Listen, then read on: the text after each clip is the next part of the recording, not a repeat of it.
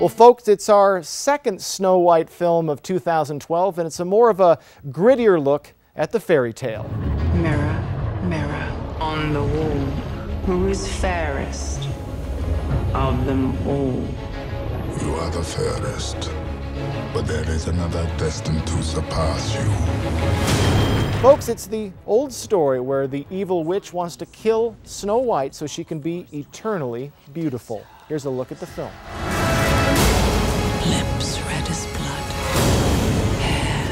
As night. Bring me your heart, my dear, dear Snow White.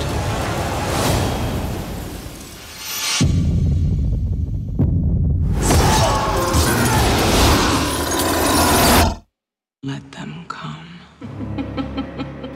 Well, folks, I really haven't been a Kristen Stewart fan from her work in the Twilight films. I found her quite annoying, but she is a revelation in this film. She is great as the innocent and beautiful Snow White. Charlize Theron is really good as the evil witch, and Chris Hemsworth, who has already a big hit this summer with The Avengers, he was Thor, is great as the Huntsman as well. Listen, it's a visual treat and it is a good film. It is a little long at two hours, but still, I had a great time at the theater. It's one of my favorites of 2012. Hope you have a great weekend. I'm Jason Valentine with your view on film.